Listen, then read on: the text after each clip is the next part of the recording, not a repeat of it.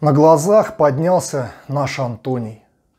Он уже не грузчик на толчках. Он работает теперь в тату-салоне. Бьет наколки русским мужичкам. Говорят, его талант от Бога. Только от какого? Вот вопрос. У него клиентов стало много.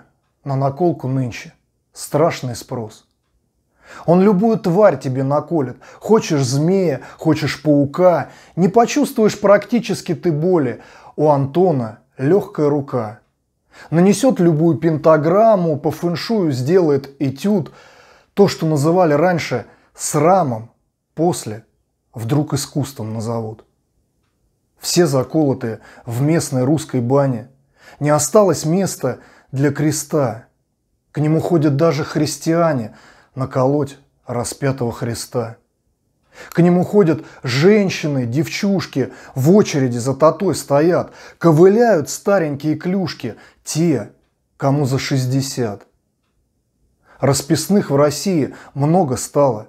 Нас накрыла синяя волна, как Антон, таких уже немало. В зону превращается страна.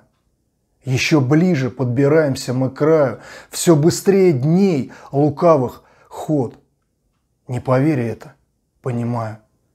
Деградирует великий наш народ. Как же так, дружище мой Антоний? С детства дар был твой красиво рисовать. Мог бы ты писать картины и иконы, души грешников лечить и воскрешать.